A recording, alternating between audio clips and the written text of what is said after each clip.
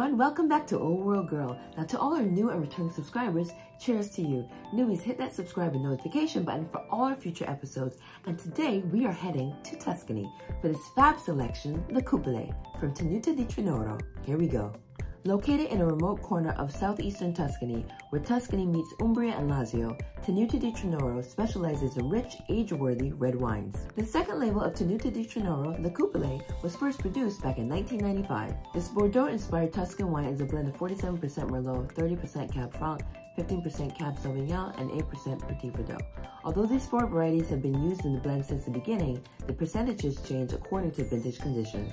If you find these videos informative and want us to make more, comment down below and don't forget to subscribe.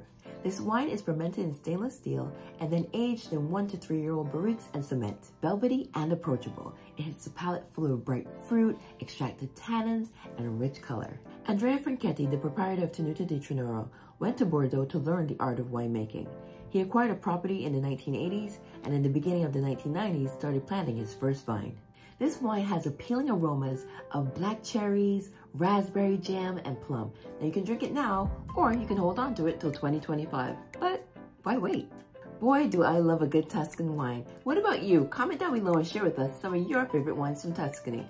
Also, don't forget to like, subscribe, and hit the notification button for all future episodes. And check out our other videos on the Wine Down TV channel where my girl Belle and I chat about the vino. Cheers everyone till we drink together again.